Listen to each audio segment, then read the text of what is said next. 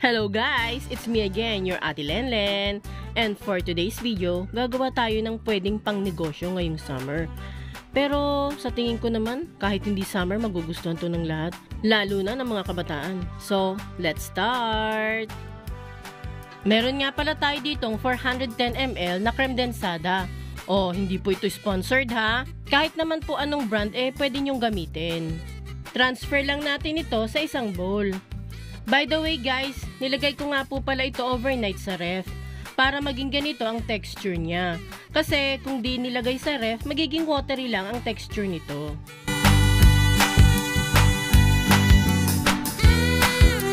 After nating maisalin lahat ng ating creme densada, maaari na nating ibit gamit ang ating hand mixer. Kung wala naman po kayong hand mixer, pwede din po kayong gumamit ng egg beater para pang whisk dito. Medyo nakakangalay lang po paggamit ang egg beater. Kailangan po natin ng mahabang pasensya. Ibit lang natin ito hanggang mag-double ang size ng ating creme densada.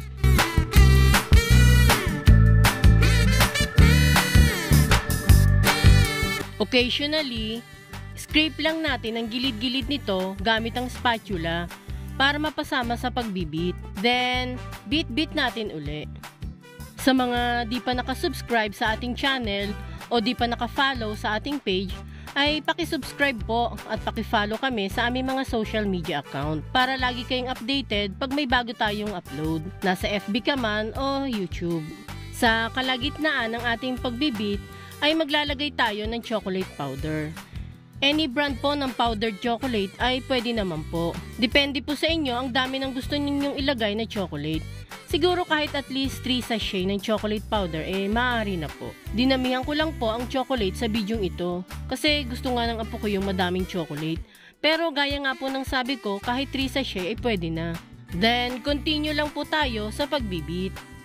Nga po pala guys, narito po ang costing ng ating pambentang chocolate ice cream.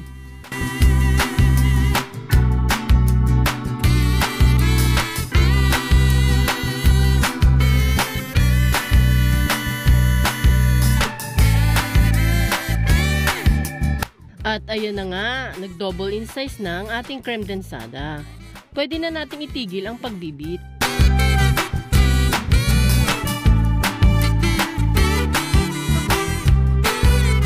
Sunod ay itatransfer na natin ito sa isang 3 ounce na disposable cup na may 50 pieces na laman.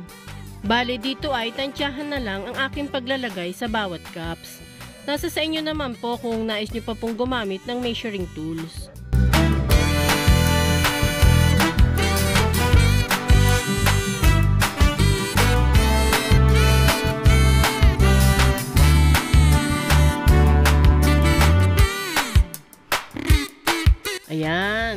Tapos na po tayong mag-transfer sa ating mga cups.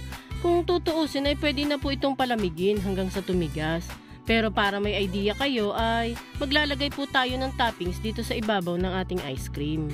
Pwede din po kayong gumamit ng marshmallow, sprinkles, o kahit yung mga tira yung chocolate powder ay pwede naman po.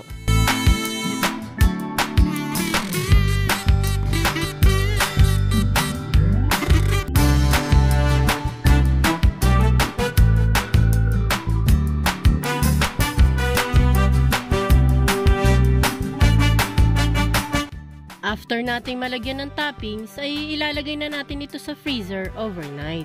Make sure lang na nilagyan natin ng plastic ang ating ice cream para hindi makontaminate ng kung anumang iba pang nakalagay sa ating ref. At ayun na nga, umaga na po. Kaya kukunin na natin ang ating ice cream sa ref.